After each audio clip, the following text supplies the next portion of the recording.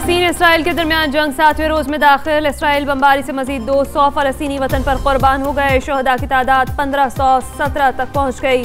चार सौ सैंतालीस बच्चे और दो सौ अड़तालीस खवतान भी शहदा में शामिल। पंद्रह सौ इकतीस बच्चों और नौ सौ बत्तीस खवतान समेत सात हज़ार से ज़्यादा जख्मी। इसराइली हमलों में रिलीफ वर्कर्स और पैरामेडिक्स के सत्रह रजाकार भी शहीद। स्कूल, मसाजिद पनाह गजीन कैंप भी इसराइली बरबरीत का निशाना।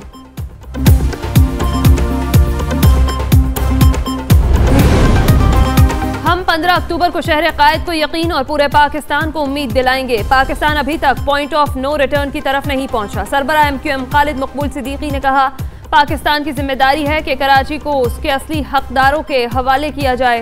पाकिस्तान बनाने वाले मुल्क को अपने मुस्तबिल से ज़्यादा अज़ीज़ समझते हैं।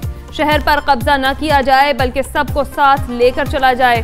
सारे तजुर्बे कोशिशें कर ली, जो नाकाम हुई। शहर का सरमाया बाहर मुंतकिल किया जा रहा है।